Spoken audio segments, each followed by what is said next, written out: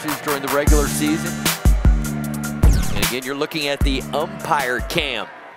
A little different look. You can get inside the trenches. And here's Xavier Williams.